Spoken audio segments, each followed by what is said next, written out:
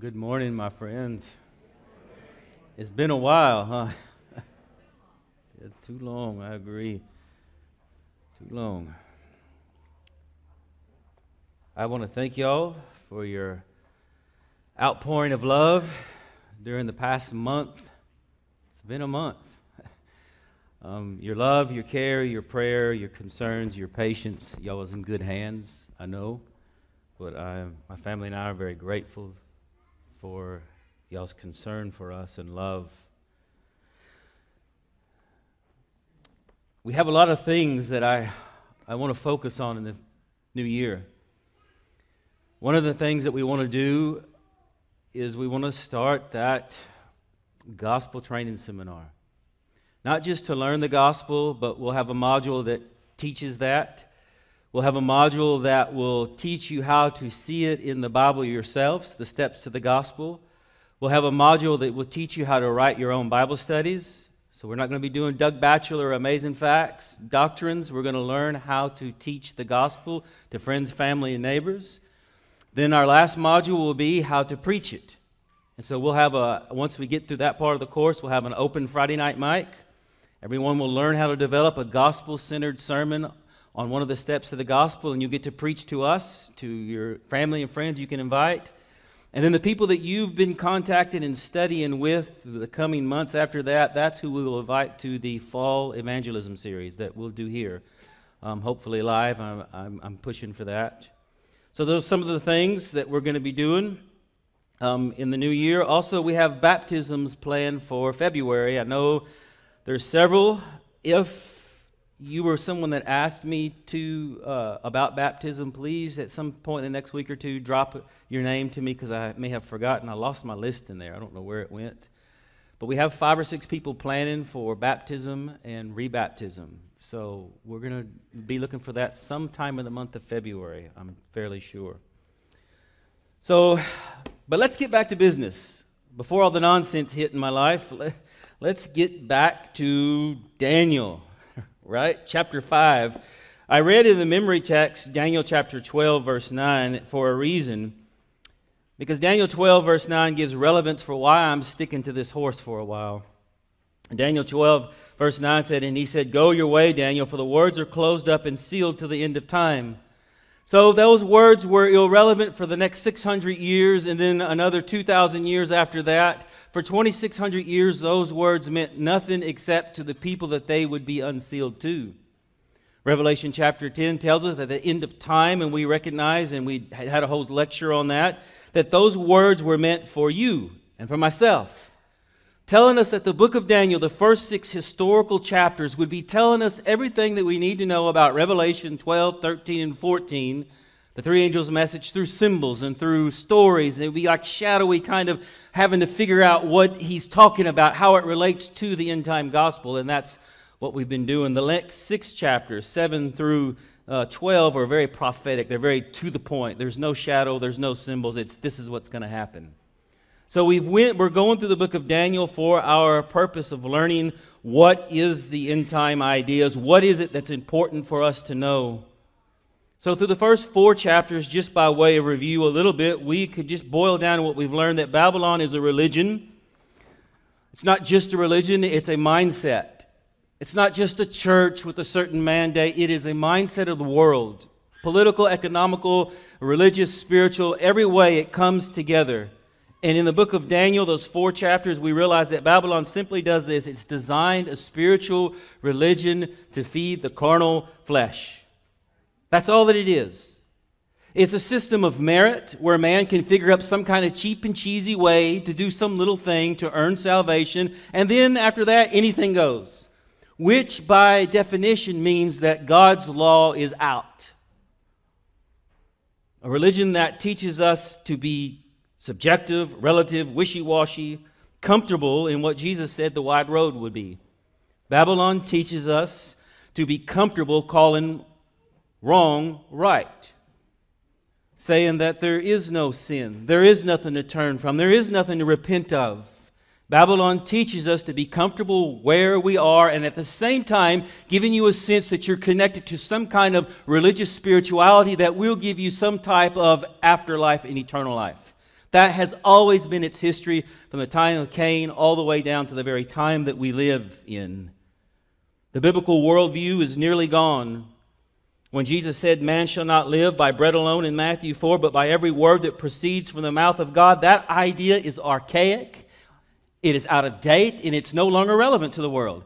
To actually take the Bible and say, I am going to attempt, with His help, to live by every word that proceeds from the mouth of God is the antithesis to Babylon. It's the exact opposite. And so that's really what we've learned in the first four chapters. We recognize that the book of Revelation tells us that Babylon will emerge at the end of time, bringing all of the world into one religious, economical, political, spiritual mindset. And we think, well, we're never going to be part of that.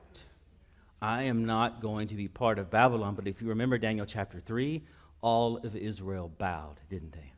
all the nobles, all the principals, all of the people, including the king, bowed and did not realize what they were doing except for three men.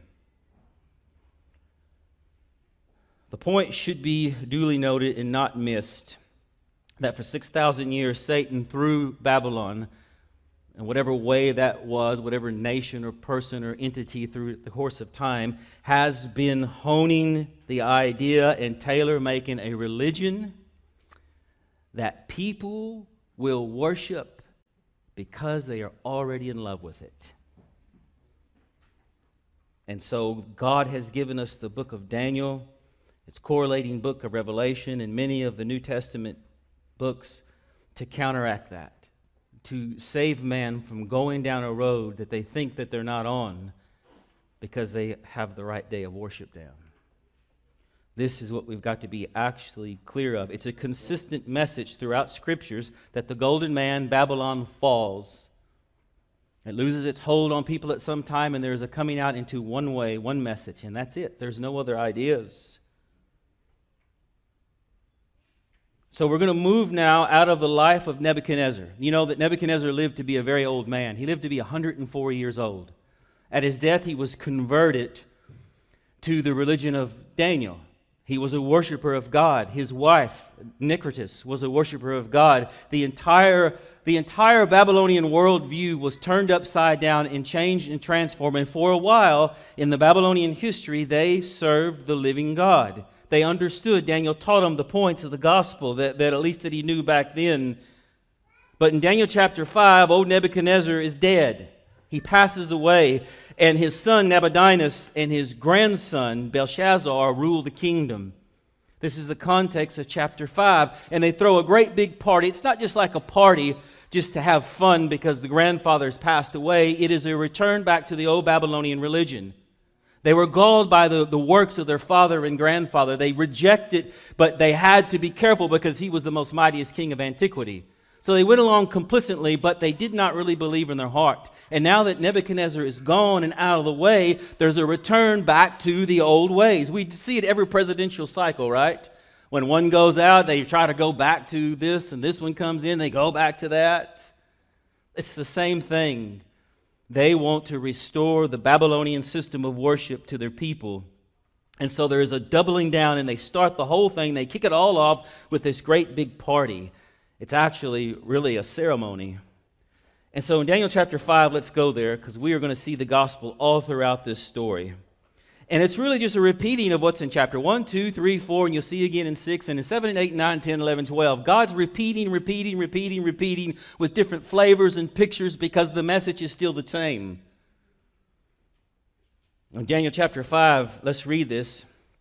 Verse 1 through 4 Belshazzar, Belshazzar, Belshazzar, the king, made a great feast for a thousand of his lords and drank wine in the presence of the thousand. While he tasted the wine, Belshazzar gave the command to bring gold and silver vessels which his father Nebuchadnezzar had taken from the temple which had been in Jerusalem, that the king and his lords, his wives, and concubines might drink from them. They brought the gold vessels that had been taken from the temple of the house of God which had been in Jerusalem, and the king and his lords, and his wives, and his concubines did drink from them. They drank wine and praised the God of gold and silver, bronze, and iron and wood and stone four times. Don't miss this. Don't let it slip by you. He says they drank. It's like Daniel, it's, it's, the way he's saying it is they took the vessels from the house of God and they drank wine from them. They drank from them. They drank from them. I cannot believe they drank from them. That's how the story starts. The vessels from the temple of God. You know, there was underneath the table of showbread, there was two big flagons that wine was kept in. And then there was cups that the priests would drink from, but they were ceremonial drinkings. There was nothing that could be offered without blood. But when the symbol had to be the drinking, they used the pure grape juice as a symbol of the blood. Every offering had that grape juice symbol if they didn't have the real blood being used on the altar. The blood was a symbol of the pure grape juice, of the purity of the Messiah, of the pure sacrifice of Christ. It represented his pure nature, his pure divinity.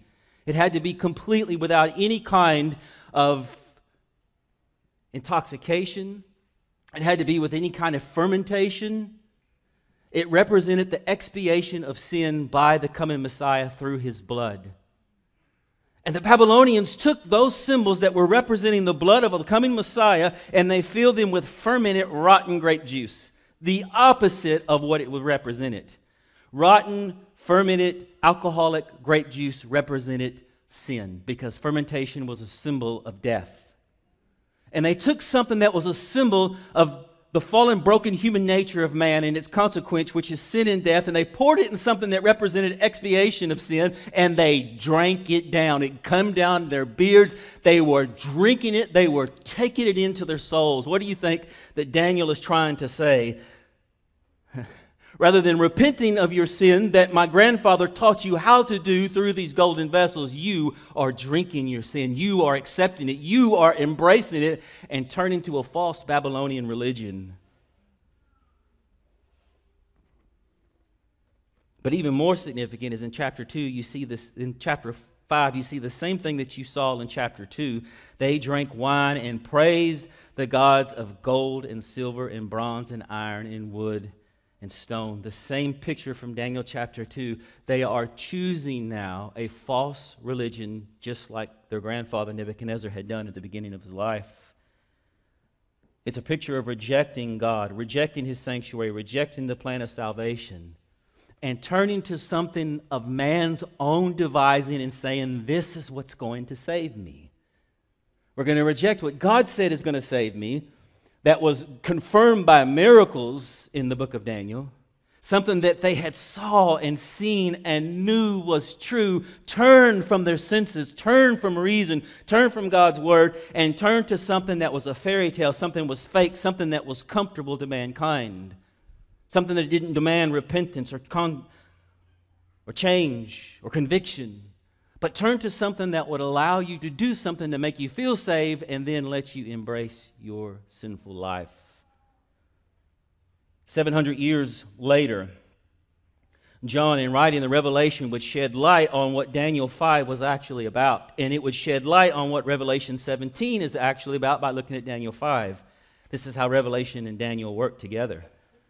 In Revelation chapter 17, John is nearly quoting the entire story from Daniel 5. Daniel 7, Revelation 17, verse 1 Then one of the seven angels who had the seven bowls came and talked with me, saying to me, Come, and I will show you the judgment of the great harlot who sits on many waters, with whom the kings of the earth committed fornication, and the inhabitants of the earth were made drunk with the wine of her fornication. In verse 4, the woman was arrayed in purple and scarlet and adorned with gold and precious stones and pearls, having in her hand a golden cup full of the abominations and filthiness of her fornication. And verse 6, and verse 5 says, And on her forehead a name was written, Mystery, Babylon the Great, the mother of harlots and of the abominations of the earth. And I saw the woman drunk with the blood of saints and the blood of martyrs of Jesus. And when I saw her, I marveled with great amazement. He was as shocked as Daniel when Daniel said they drank from the cups of God. This picture of this cup is a sign of being intoxicated willfully.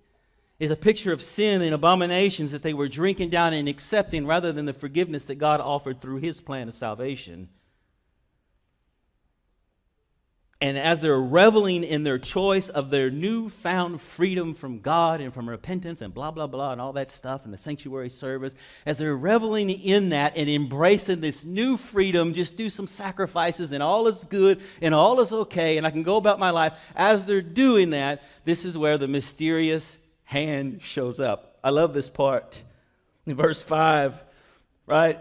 And in the same hour, the fingers of a man's hand appeared and wrote opposite the lampstand on the plaster of the wall of the king's palace, and the king saw the part of the hand that he wrote. Now, often this kind of jumps past us, this opposite of the lampstand. But we can pretty much assume that if all the golden vessels was there, the lampstand is also from the temple. And what was always in the sanctuary opposite from the lampstand? Table of showbread. And the table of showbread, remember, Jesus said, I am the bread of life that came down from heaven. The manna was, was just a symbol of me. I am the bread of life. You eat of me. This hand showed up where the table of showbread should have been. This hand was who? This is a picture of Christ.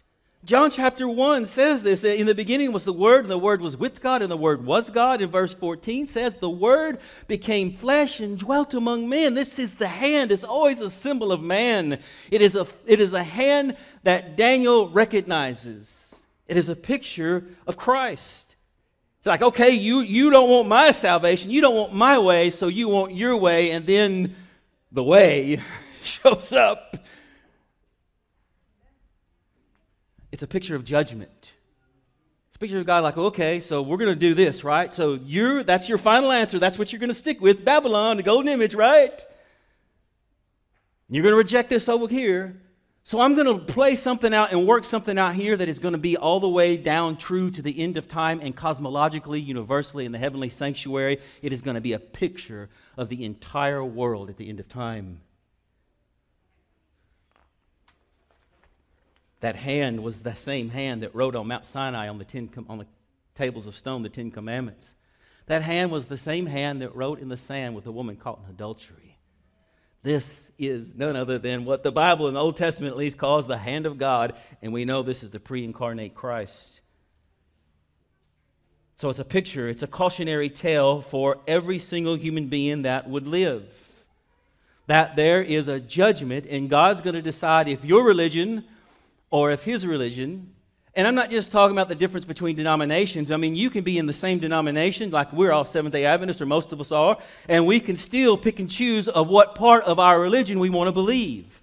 And by picking and choosing different parts of our religion that we're going to accept and other parts that we're going to reject, you're still Babylonian. It's always the nature of what it does.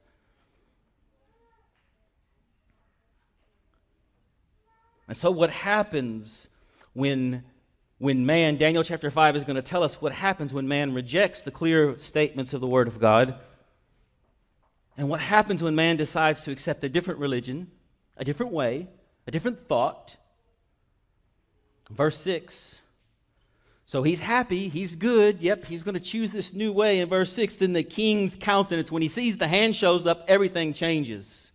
Because he realizes, oh, that God that my grandfather worshiped, he just showed up in my court.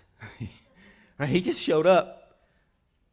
Then the king's countenance changed, and his thoughts troubled him, so that the joints of his hips were loosened and his knees knocked against each other. I had a Hebrew professor saying that he basically lost control of his bladder. His knees grew weak his face went from flush red, ruddy, and happy to pale like a ghost. He trembled and he was sick and he was caving in at the scene because he knew he just stepped over the line. What just minutes ago was a happy, wonderful scene now became a very serious matter to him. It's where our world is headed. This is a scene of mankind. Keep that in your mind. Belshazzar is a type of people that choose a different way than what's been outlined in Scripture. In fact, Luke chapter 21, verse 26, really describes it well. of where our world is. I don't think we're headed there. I think we are, and we're just going to have greater revelations of it. Luke chapter 21, it's the signs of the times for Luke. Luke chapter 21, verse 26.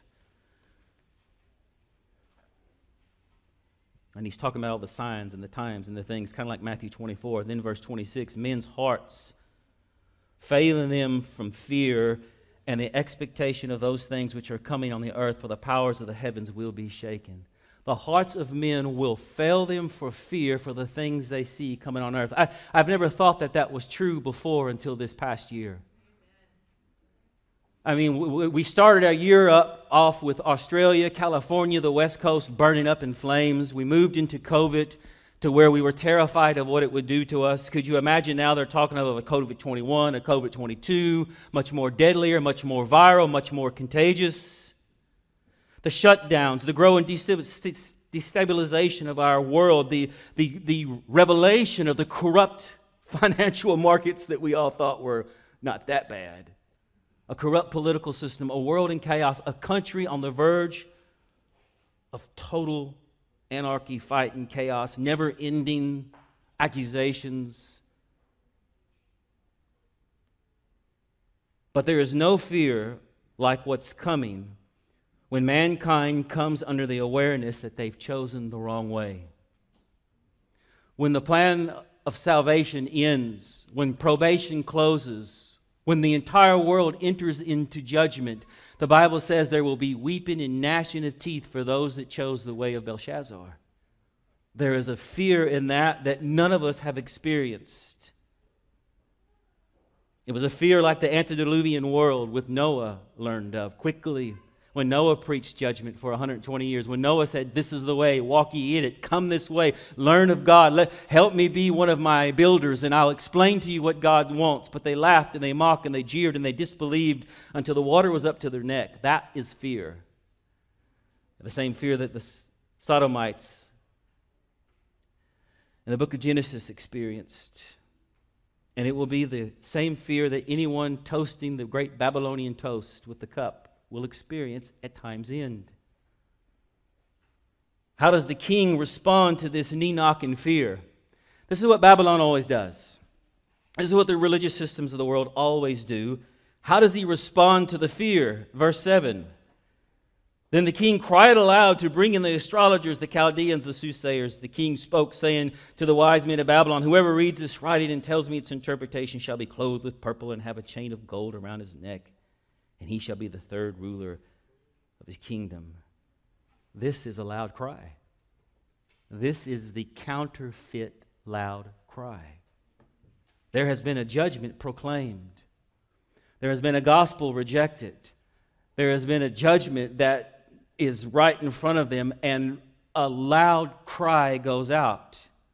At the end of time, when Babylon is at the height of its power, but right before it teeter totters and falls, there is a false counterfeit revival movement that goes out to the world. It is a false third angel's message, a false loud cry. He cried out to his spiritual advisors, his gurus, his motivational speakers, his scientists, his political sages, his professors, his teachers, his elites of society, his activists, his journalists, his talk show hosts of the times. He cried out to all the people that he trusts, and that is what mankind will do today. It's what they're doing right now. We're looking to the world, we're looking to people, we're looking to any other kind of spiritual experience except the one that is right in front of us. Listen to this statement. Before the final visitation of God's judgments upon the earth, there will be among the people of the Lord such a revival of primitive godliness as has not been witnessed since apostolic times. The enemy of souls desires to hinder this work, and before the time of such a movement shall come, he will endeavor to prevent it by introducing a counterfeit. In those churches which he can bring under his deceptive power, he will make it appear that God's special blessing is poured out. There will be manifested what is thought to be a great religious interest. Multitudes will exult that God is working marvelously for them when the work is that of another spirit. Under a religious guise, Satan will seek to extend his influence over the Christian world. Babylon has already got everyone else. It's the Christian world, and particularly the Protestant Christian world that he seeks with a counterfeit revival movement to sweep you into their ranks. So I always say this, and I want to say it with some caution, but I still mean what I mean. Be careful what you're listening to. I mean, I know that, there, that there's good sermons and they got good ideas and they got great music out there, and, and some of it is always really biblical, but look out and be careful that your mouth is not wide open and you gulp something down into your mind that turns you away from the truth. There is a danger in these Protestant preachers that are preaching half of a gospel, part of a gospel, most of the time, and then slip it in something that you're like, huh? But you really like the guy now. So you, you swirl that around and then you spew it out at Sabbath school or you talk about it to your friends, and before you know it, you are believing. You know that text that says, Remember Lot's wife? I think what would be relevant today would be to say, Remember Eve. If you look at Eve, there's one thing that she should have never done, and that was stop to hear a serpent speak. She should have never stopped to enter into dialogue, and yet God's people go to Babylon all the time and enter into dialogue with their books, their writings, their preachers. And for most of the time, it can be benign for you, and maybe you can even benefit from some of it, but some of it is deadly. And that's how she works to bring about a false counterfeit movement that the whole world thinks we're entering into some great enlightenment age. And believe me, I fell prey to it. I don't know if y'all know who Russell Brand is. He's a guy I don't know much about him.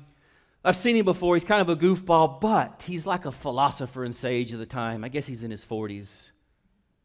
And he popped up on my YouTube feed, and so I listened to him. And within two minutes, I was captivated. Of course, he's got the English accent, so we're always captivated by the Queen's English. But I started listening to him, and he was talking about you know, the American politics, and, and he was talking about conservatives versus this, and he was talking about the ridiculous nature of this and that. And I was going, this guy's got some great points. He's a very progressive guy, and, and I'm not so much, but he was making sense and i was getting caught up and i was listening 5 10 15 minutes and then he started talking about that mankind is on the eve of the greatest spiritual revival that the world has ever known. That we, for the first time in human history, collective, in a collective consciousness, are beginning to gravitate to this one idea, which, after listening to the whole thing, is nothing but Neoplatonism, which is just Greek philosophy the whole concept that we are all tied and coming to this energy in the cosmos, this mind, this wisdom of it's a non personal being, but we're all being, we're coming into the one. And then he said this He says, We're all coming into the same mind of God. But to him, God was a collective consciousness that the universe is speaking and the world is, is tying into this energy. And I went, oh man. And then he said this However, what's holding us back is a few old archaic belief systems. I thought, ooh, there it is, man. A few old archaic systems. All that Babylon has to do is cut the tie from a few old archaic systems. Please be careful what you listen to. Anything that makes de facto Revelation 14. Anything that makes de facto the everlasting gospel revealed in the Old Testament, revealed in the sanctuary, revealed through the gospel of Paul, anything that makes the gospel irrelevant, especially the everlasting gospel of the three angels' message, run from it with your life.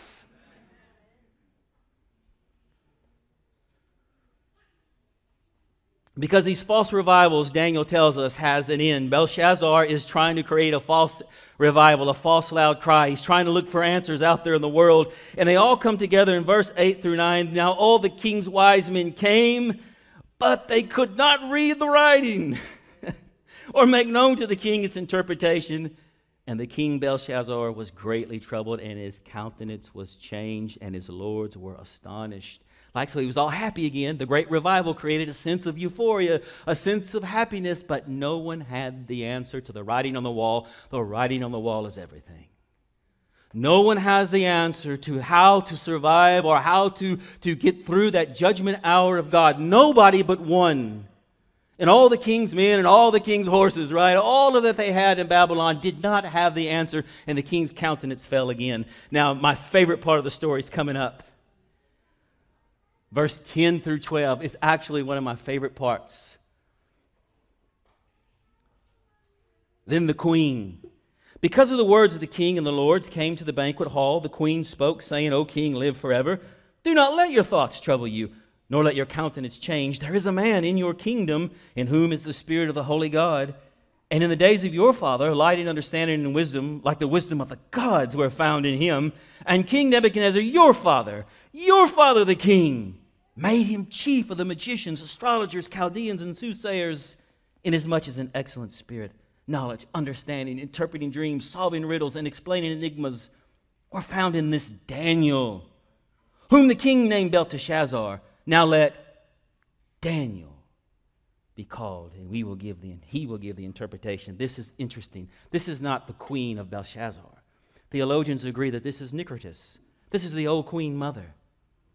She's not there at the banquet because she's a worshiper of the Most High God. She still believes and she hears of this great banquet of, of going back to the old false Babylonian system, and she wants nothing to do with it until she hears about the hand. And when she hears about the hand and she hears about this false revival going out, she busts in the door like a blast from the past. She steps in there and she says, King, live forever, don't be troubled, because I have an answer. I have an answer for you. Your father tried to name this man who is called Daniel Belteshazzar, but his name is Daniel. God is my judge. She's coming with the first angel's message Fear God and give glory to him, for the hour of his judgment is come. She knew the gospel, she understood it, and this is what the first angel does. When Babylon reaches its apex, when the counterfeit movement goes out, the first, second, and third angel's message flies into the world and says, No, we have a judge in heaven. There is a judgment going on, and there is a way to survive this judgment, so don't be afraid. Don't fear the hand on the wall. Embrace that hand, because that hand is your Savior who's going to show up in 600 years from now.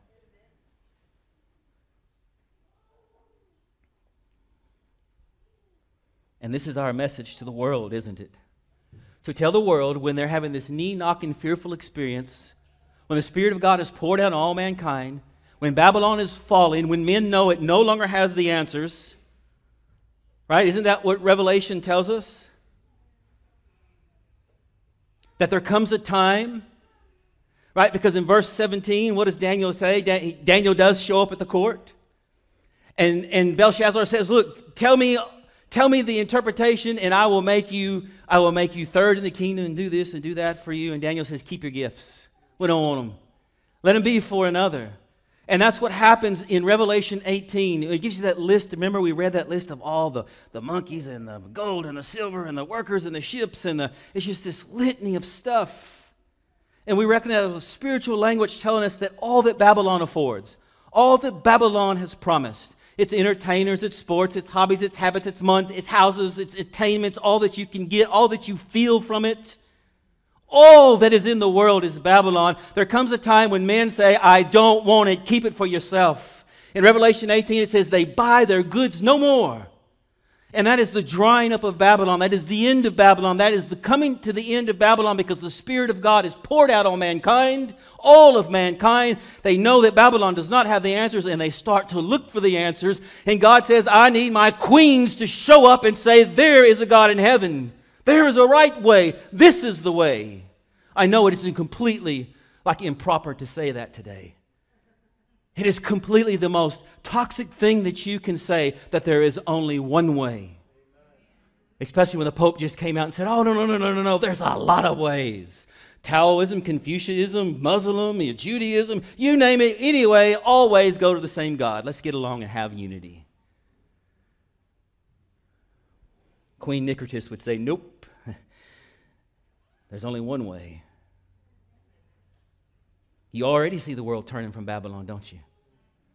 You already see the world saying, you know, I ain't watching sports no more. I'm sick of these guys. These are a bunch of overpaid young men and women. Their frontal lobes are not even fully developed yet. What are we doing? The world's turning away from movies, turning away from Hollywood. We're sick of politicians. Fox News, their ratings have plummeted. People just don't want nothing to do with it no more. There's no more answers. It's a bunch of lies and hypocrisy and craziness and who said this and she said that. We don't want it no more.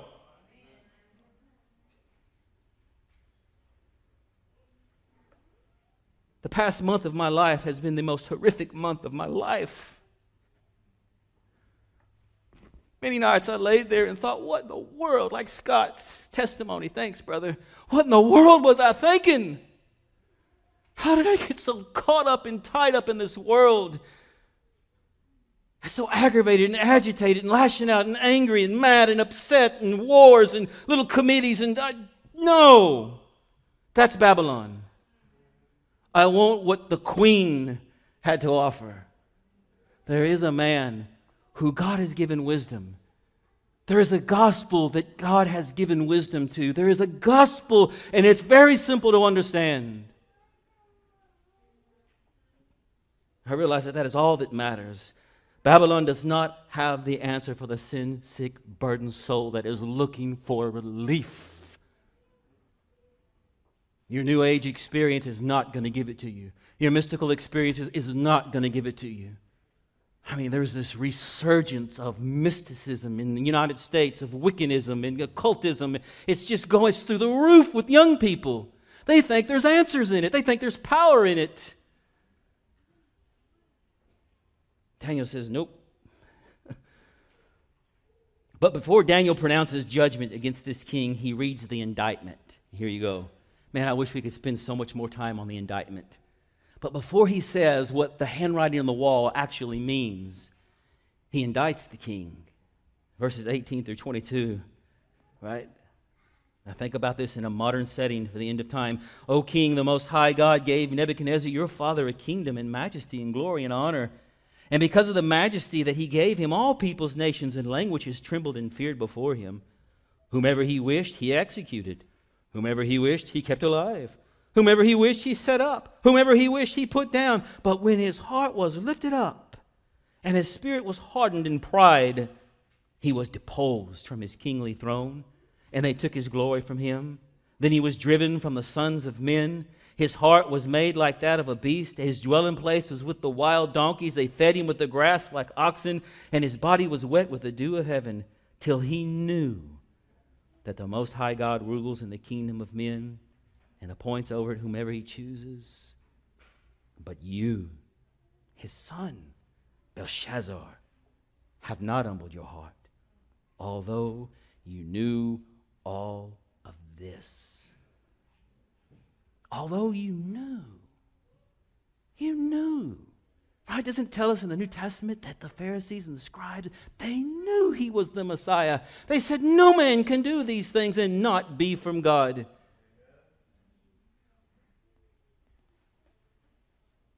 And many people today, they know their way is wrong. They know what they're doing is not right. They know that that attitude that they've had or copped on somebody, the aggression, the anger, the resentment, the jealousy, the pride, the gossiping, the position that they've taken, the things that they feel, their attitude towards someone, they know. Because if the life of Christ is the ultimate embodiment of the law, and we are believing keeping the law here, not to be saved, but as evidence, proof, and fruit that our faith is real. But if we believe that the law is more than the letter, more than the spirit, more than the very heart of the law, but if we believe that Christ is the very embodiment of the law of God, then his life is constantly condemning me for my attitudes. And I know that the things that I do, the things that I say, the things that I feel, I know that they are wrong, and yet I hold to them, even though I know what the word says. If a man comes up to you, Damon Snead, and slaps you in the face, do what? Yeah. If someone says, Come with me a mile, go with him two. If someone curses you, you pray for them. If they hate on you, you lift them up. You love one another, bear one another's burdens, pray for people, care, love, return evil with goodness and kindness. It's all right there in the life of Christ, and yet I know that and still persist in my own way sometimes.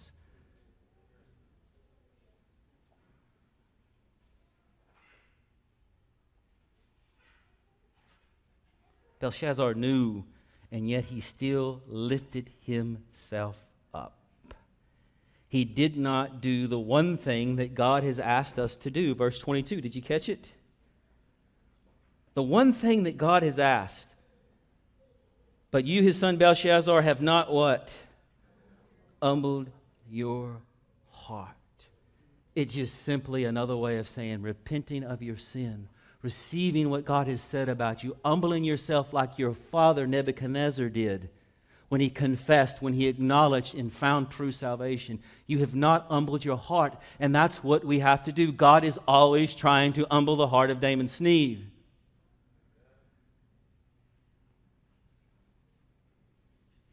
Again,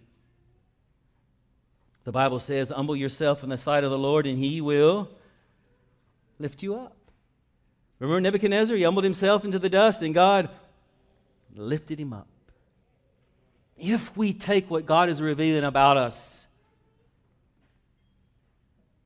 He will forgive us, He will protect us, He will cover me, He will lift me up. But in Babylon, Rather than humbling ourselves, Daniel says in verse 23, and you have lifted yourself up against the Lord of heaven. You didn't humble yourself, you lifted yourself up. You know what that means, don't you? To lift ourselves up means that we set our own mind on what we do, we justify it, we excuse it. We find reasons to hold on to that one thing, to do that one thing continually over and over. We find ways to lift ourselves up.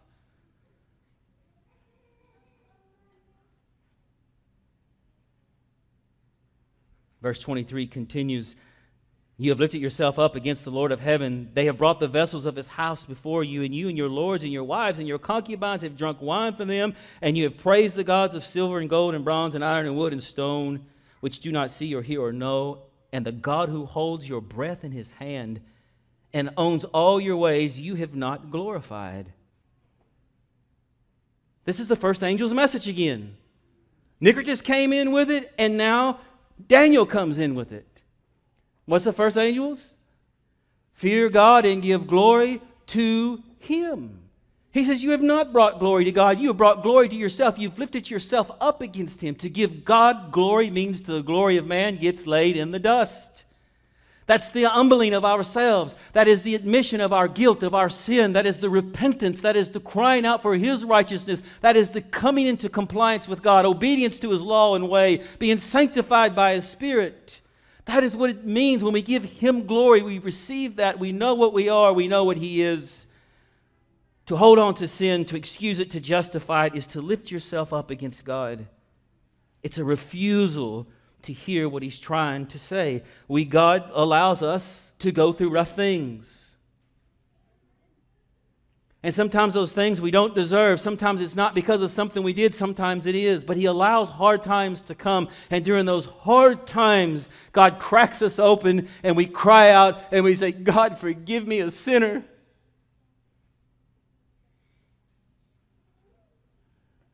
I laid in a bed for three weeks I thought I was going to die. And one night I just got up and I, I crept into the bedroom, into the chair in the living room, and I just said, God, forgive me. And what came to my mind? The moment I conceded to my need of forgiveness, what came to my mind was a list of events going all the way back to last March. Things that I had done, attitudes that I had. Oh, God allows these things to come upon us, but they are meant for our good.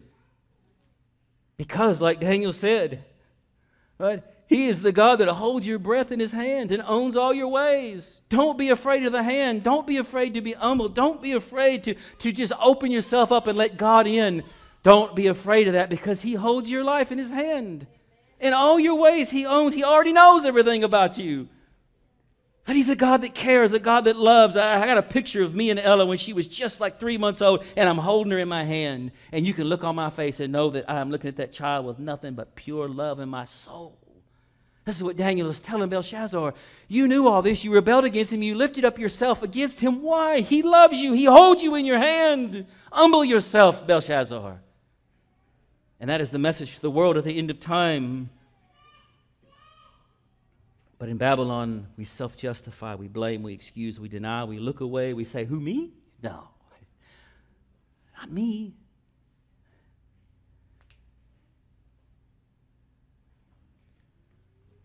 You see, for, for the man that does not humble himself, for the man that turns away from the gospel, the hand on the wall is a hand of doom.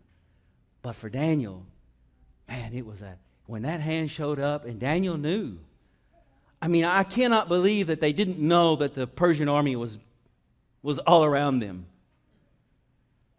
And death comes to the rulers, the aristocracy, usually. When that hand shows up, Nebuchadnezzar's knees are knocking, but Daniel, he's like, oh, that's my God. He's, he's here again. He's like in his 80s. He's like 86 years old at this time. He's an old man. He hasn't seen God for quite a while. And the last time I think he's seen him is in the time of Nebuchadnezzar. It's been a, quite a, a, long time. And when that hand shows up for Daniel, it is a hand of wonder, a hand of help, a hand of love, a hand of guidance, of friendship, of security, of covering.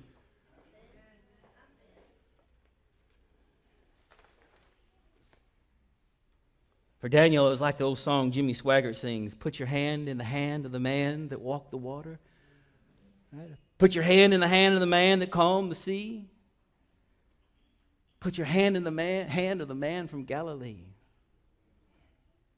That's what Daniel saw. But now he's going to interpret the writing, and it, you know the rest of this story, right? It don't go well. And this is the inscription that was written.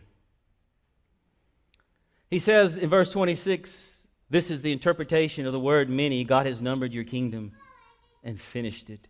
Tekel, you have been weighed in the balances and found wanting. Peres, your kingdom has been divided and given to the Medes and the Persians.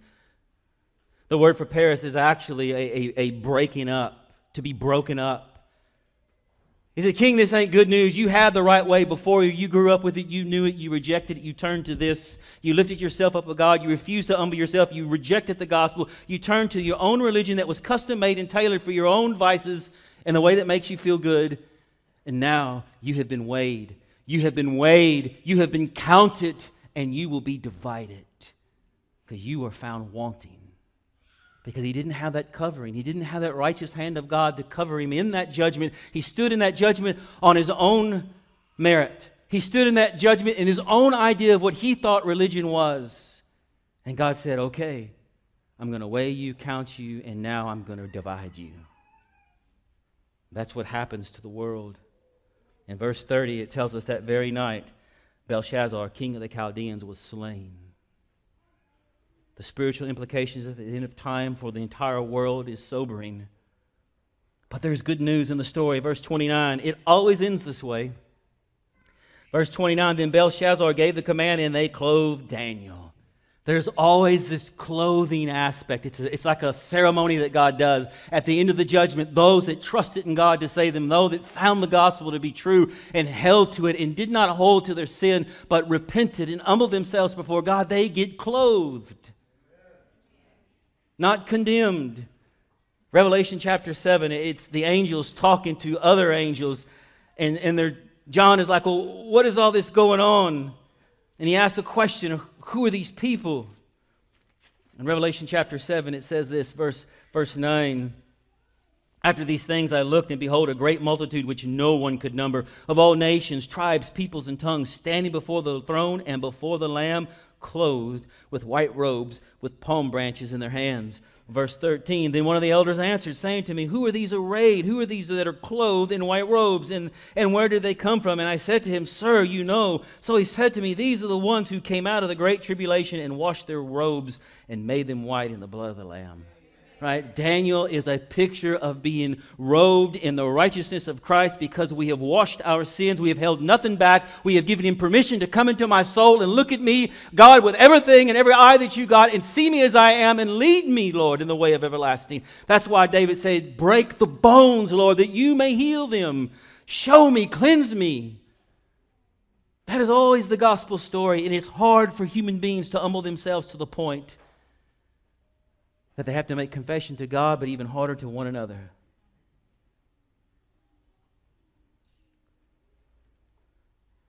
In this past year, Has God revealed something to you in your life?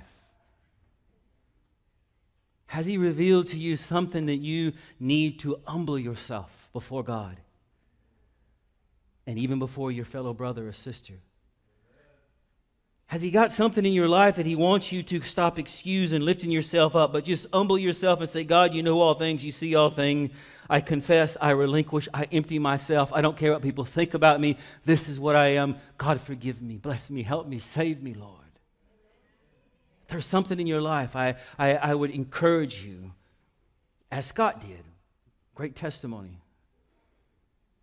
to make it right with God immediately and stop lifting ourselves up. So, in my conclusion for chapter 5, here is what I learned. The way of Babylon, this past month, I was thinking of it's really a hard way. I mean, it's easy in one way.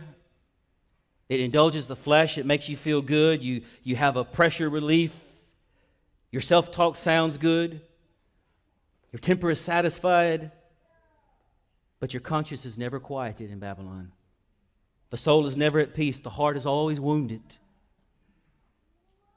But to the humble ones that turn themselves to God, to, to confess, to repent, to make themselves right with God, there is fullness of heart, there is peace at night, there is a clean conscience.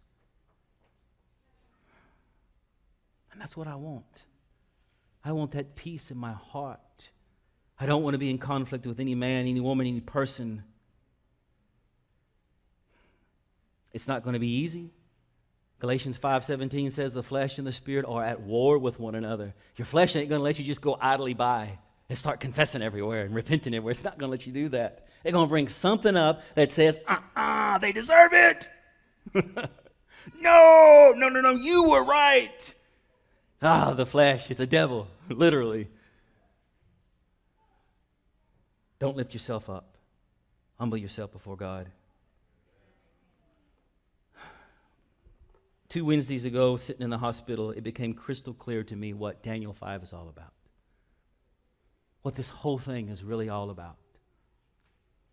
Two Wednesdays ago, I got a phone call from my little brother saying the doctors has called us and told us that daddy's body is shutting down. He's not responding to the intubation. His kidneys are failed. His heart's going out. It's just torturing him. They want us to come up and sign the papers, and if we would like to, we could be with him. We wasn't ready for what we saw. They tried to warn us when we got there, the body had already started having issues. They told us hospice would be in there in a couple of hours. They told us what would happen. And so we waited and we waited and we waited in there with Daddy. And then the hospice workers came in. The room was filled with nurses.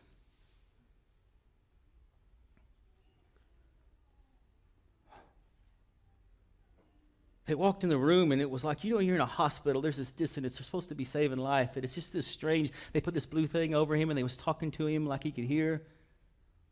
And I was thinking, I was watching them uh, pull the tube out, and, and, and my mind was, was like,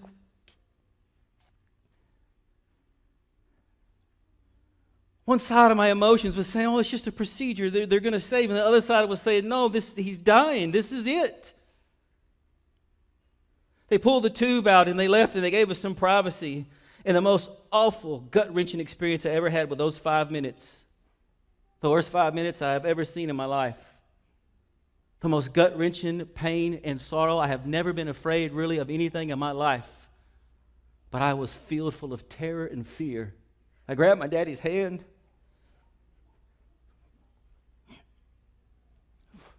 I felt his pulse, and I was watching the machines, you know, the life support machines. I just kept watching the numbers go lower and lower and lower and lower and lower. And he was taking, struggling for air. And then I couldn't feel his pulse. And I was watching his stomach, and he breathed his last. And you know what I was thinking during all of this? It just kept flashing into my mind. I was quaking, I was shaking. Travis, he lost his strength in his knees, he fell to the floor. I kept thinking, this is really what Daniel 5 is about. I was working on the sermon then. This is what it's all about. This is all that matters. That my daddy's name, the handwriting on the wall was happening. I was watching the final moments of his life. I was watching his judgment. I was watching his name about to enter into the books of heaven. The investigative judgment for him. I kept thinking his time is running out. I don't want it to run out. I kept saying, Dad, breathe again. Breathe again. But he stopped and it just hit me like a ton of bricks. It's over. It is over for him. And that is the quintessential truth of all things that we have a limited amount of time. We all are going to have a handwriting on the wall. We all are going to face a judgment. Every single one of us at some point in time, it's over with. And for dad, just two weeks before, he was planning on building his front porch. I went out to my mother's house and there's all the wood. There's this tractor with his gloves still ready to go. His whole life just came to a stop without him realizing it. And that is the truth of the time that we're living in. We are on borrowed time. And we don't have time to be fooling with Babylon. We don't have time to be fooling with pretty, nice sounding things. We have time for nothing but one thing, and we have been called as a people to do one thing, and it is to prepare the world for that judgment. That is the Seventh day Adventist message to the world. We must teach them to be clothed and not allow them to waltz into a knee knocking experience unprepared.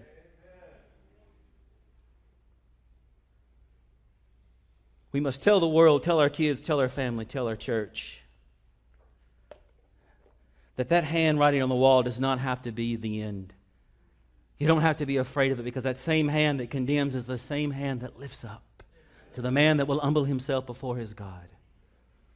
Let's have prayer. Our Father in heaven, we are grateful. We are so grateful that that same hand that would cause one to tremble, in another sense, causes one to have hope. God, help us in our own lives to humble ourselves and search our hearts and souls and minds before you. Lead us to repentance, Lord. Convict us like David, Lord. Search and try us and see if there be any wicked way in my life, in my attitude, in my feelings and affections and thoughts. And lead me in the way of everlasting. Lead me to repentance, Lord, where I can confess my sin, get them off of me into that sanctuary, on that curtain which is Christ that I may have repentance and forgiveness of sin and have a clean conscience when that time comes, that I may be found, Lord, being clothed in his righteousness. Lord, thank you so very much. We give you praise and glory in Jesus' name. Amen.